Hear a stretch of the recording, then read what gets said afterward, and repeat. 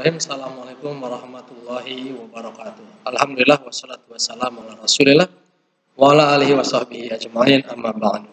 Baik anak-anak kelas 6 yang soleh dan solehah, kita lanjut ke bagian 2. Ini bagian 2 ya. Uh, bagian 2 halaman as-safhah tamaniyah wa situn 8 dan 60. Samaniyah wa situn ya 68. Baik, di sini tadrib, langsung latihan ya. Tadribul awal. Latihan pertama, tadribul awal. Akmil kama fin namudaj. Akmil, apa akmil masih ingat? Akmil lengkapi. Kama seperti fin namudaj di dalam contoh. Akmil kama fin namudaj. Apa artinya? Lengkapi seperti di dalam contoh ya akmil kama fin namudaj di sini ada contohnya ini. Ya, ini laki-laki Lukman namanya ya. Lukman qoroa Lukman telah membaca. Berarti kata ganti untuk Lukman orang ketiga berarti ya huwa. Huwa qoroa dia telah membaca. Perempuan Laila. Laila qoroat lihat taknya ya. Ini kata kerjanya ini ada tanda tak karena menunjukkan perempuan ya. Ngomongin perempuan Laila Laila. Laila qaraat. Laila telah membaca.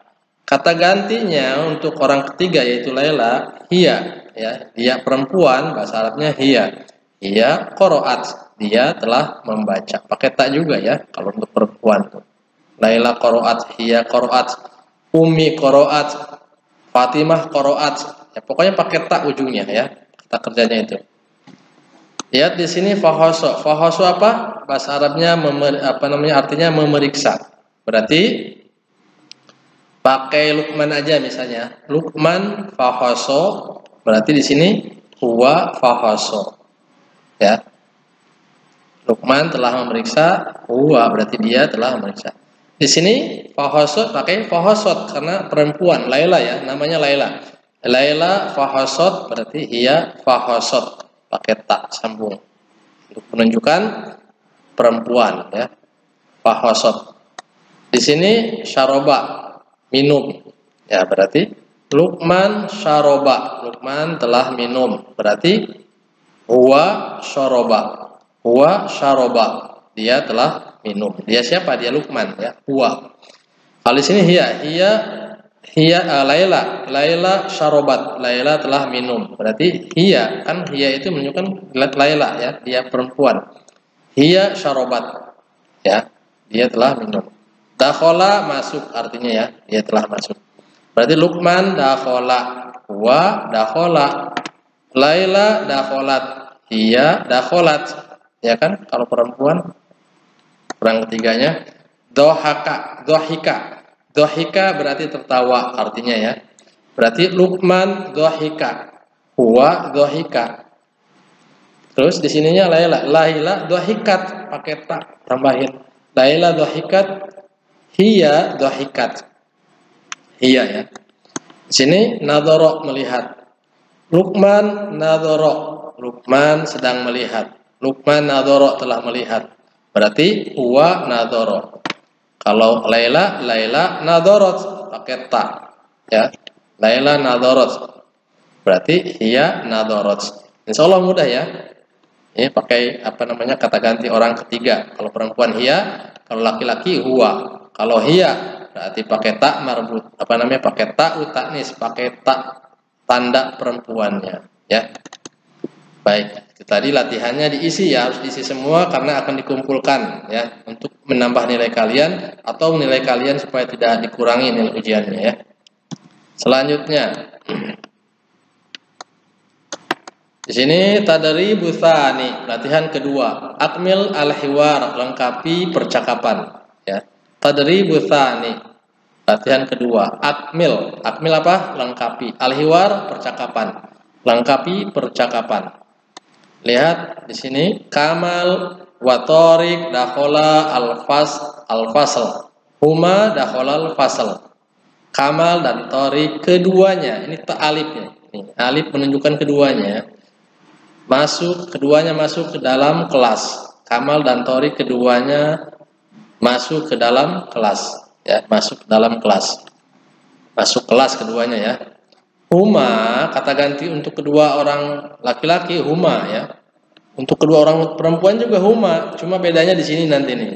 Di apa namanya? Di kata kerjanya. Huma dakhola ada alifnya nih ya. Menunjukkan dua orang laki-laki. Huma keduanya ya masuk kelas. Kamal dan Torik keduanya masuk kelas. Huma pengganti Kamal dan Torik ini ya Huma ya. Huma dakhola al-fasal. Keduanya ini keduanya dan kata kerjanya tambah alif ya menunjukkan keduanya. Keduanya masuk kelas. Itu untuk laki-laki. Sekarang untuk perempuan Laila wa Nafisah. Laila dan Nafisah dakholta lihat dakholta kalau ini dakhola kalau laki-laki pakai alif tandanya ya kalau perempuan pakai tak dan alif jadi majukan taknya sebelum alif. Nah, Laila wa Nafisa dakholta al-fasal. Laila dan Nafisa dakholta masuk keduanya masuk ke dalam kelas. Masuk keduanya masuk kelas. Laila wa Nafisa dakholta al-fasal. Ya, taknya dan alif ini tanda dua orang perempuan. Huma tuh, kata gantinya huma. Dua orang Laila dan Nafisa Kata ganti nama orang dua orang huma ya. Huma dakholta al fasal. Maka ini juga bukan dakholat, tapi dakholta ya menunjukkan dua orang perempuan. Huma dakholta al fasal. Tapi kalau laki-laki huma dakhola tuh. Tapi kalau perempuan tak dan alif. Huma dakholta al fasal. Insya Allah mudah ya dipahami. Baik, tadi ini contohnya, sekarang ini apa namanya untuk diisi ya. Dafa'a, dafa'a berarti membayar. Akhoda keduanya mengambil. Ini mengambil, ini keduanya membayar. Fataha keduanya membuka. Coba kita uh, praktekkan di sini ya. Namanya tetap Kamal Watorik untuk laki-laki, ini untuk perempuan. Laila dan Nafisah, Laila dan Nafisah. Kamal Watorik dafa'a ya gitu. Kamal wa tariq dafa'a. Nah, dafa'a apa? Dafa'ad dawa. Ya. Kamal wa tariq dafa'ad dawa. Dafa'a ad-dawa. A-nya jangan dihilangin, ya. Ini begini, Mang. Untuk menunjukkan kedua laki-laki itu, untuk menunjukkan kamal wa tariq, ya. Kamal wa tariq dafa'a ad-dawa. Keduanya membayar telah membayar obat, ya. Berarti apa? Huma. Huma dafa'a ad-dawa. Ya obat. Duanya telah membayar obat. Kalau ini Laila wa Nafisa gimana? Berarti tinggal ditambahin tak di sininya ya. Dafa ta Laila wa Nafisa dafa ta tak dan ya. Ta dan tinggal tambahin tak doang. Alifnya begini kayak begini. Dafa ta ya dafa'ta ad-dawa. Laila wa nafisa dafa'ta ad-dawa. Huma tetap humanya. Yang membedakan ini kata kerjanya. Tak dan alif tambah tak dan alif untuk dua orang perempuan. Huma dafa'ta ad-dawa. Ya. Akhadha laki-laki begini aja ya. Lukman wa Torik akhadha apa? Maktab. Lukman dan Torik keduanya mengambil kursi ya kursi aja. Lukman wa Tariq akhoda keduanya ada alif itu ya menandakan dua orang laki-laki. Akhoda kursi. Keduanya telah mengambil kursi. Berarti huma akhoda kursi.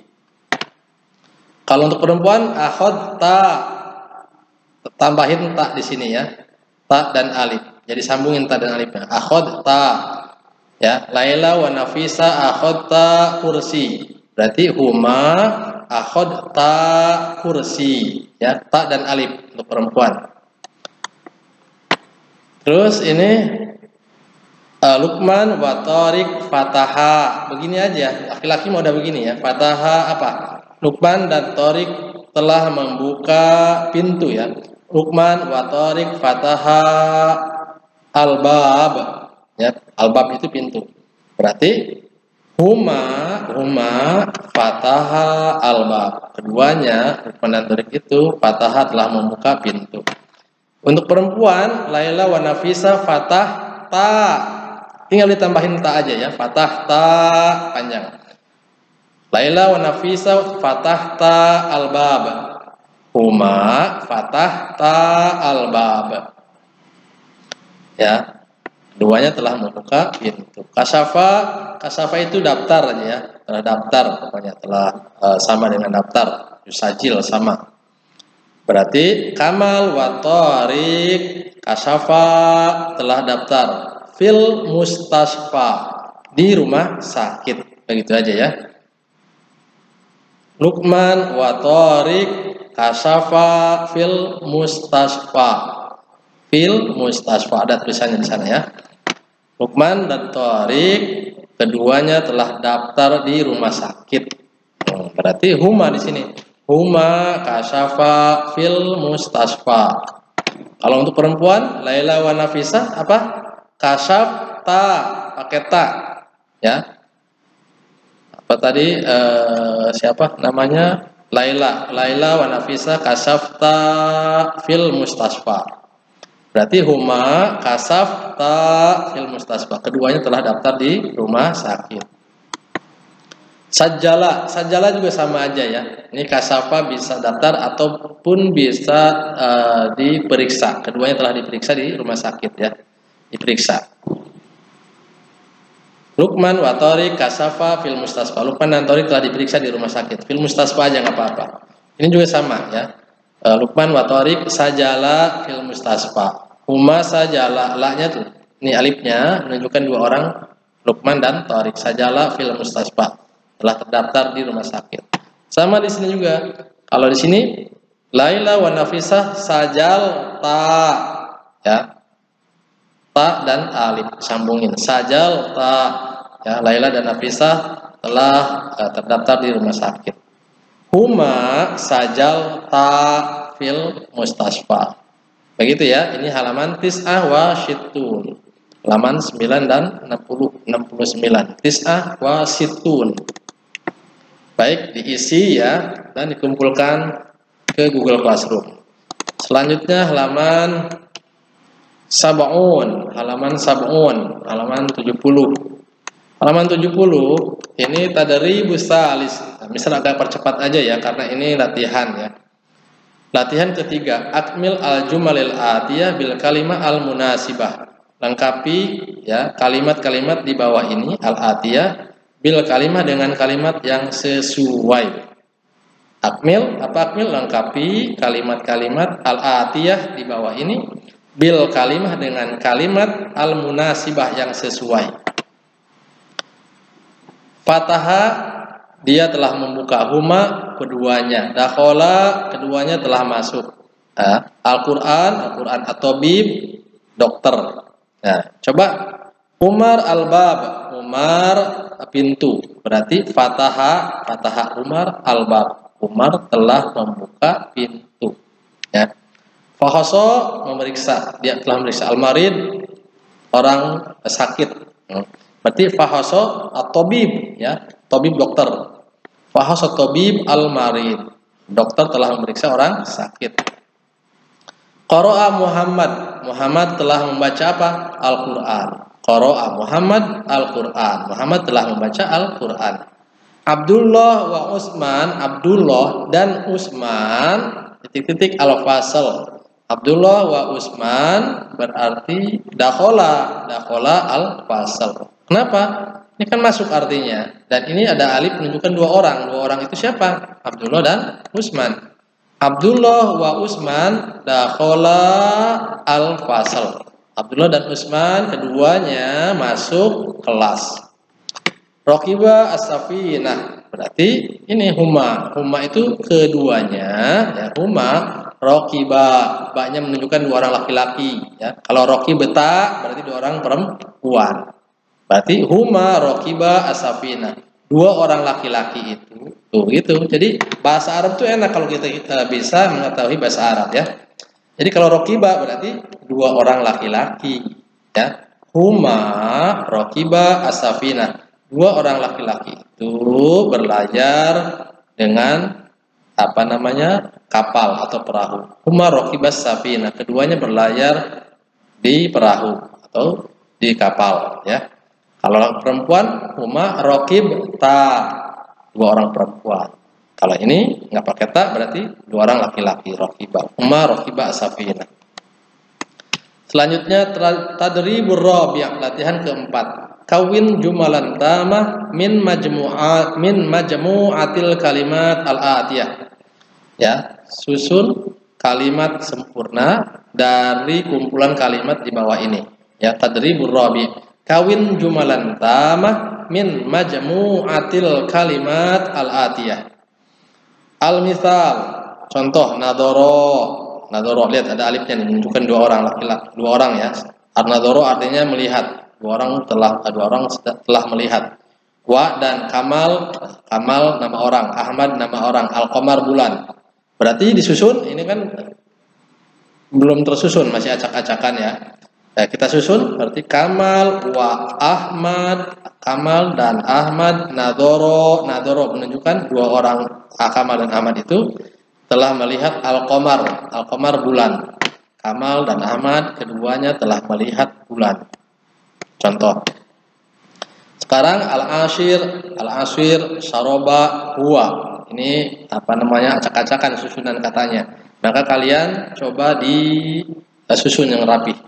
Al-Asir jus, Saroba minum, Huwa itu dia laki-laki. Berarti Huwa Sarobal Asir, Huwa Syaribal asir. Dia telah minum jus.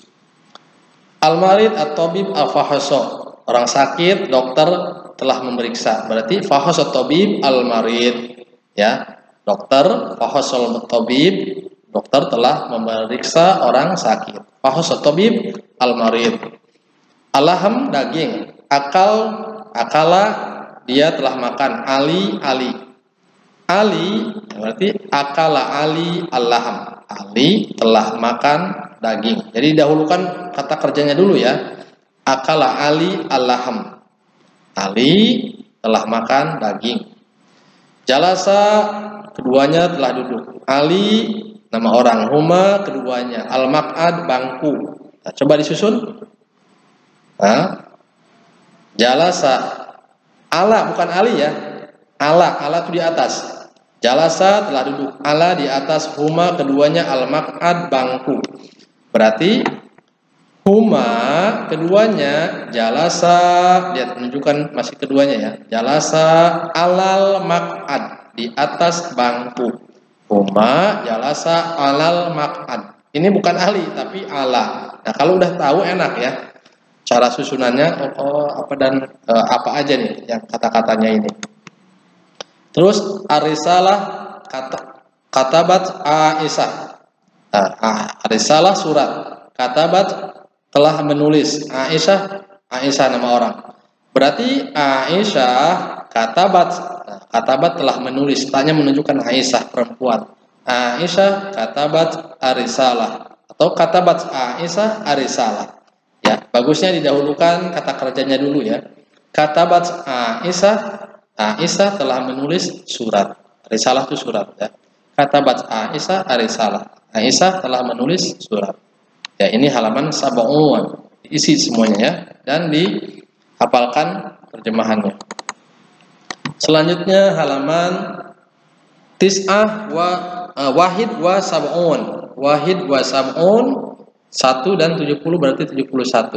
Wahid wa sab'un. As-safah wahid wa sab'un. Lihat di sini tadribul khamis, latihan kelima. Tadribul khamis, iqra perintahnya baca wa uktub dan tulis dan wa ihfaz hafalkan. Iqra wa uktub wa ihfaz ya. Baca dan tulis dan hafalkan. Qala Allah Ta'ala Allah berfirman. A'udzu billahi minasyaitonir rajim. Bismillahirrahmanirrahim qaulum ya qaulum ma'rufum ya qaulun qaulum ma'rufun wa maghfiratun khairum min sadaqati yatba'uha adza surah al-baqarah ayat salasa wasitun ya. Mi'aten dulu ya, baca dulu ininya 200-nya. Surah uh, apa namanya? Surah Al-Baqarah ayat 263.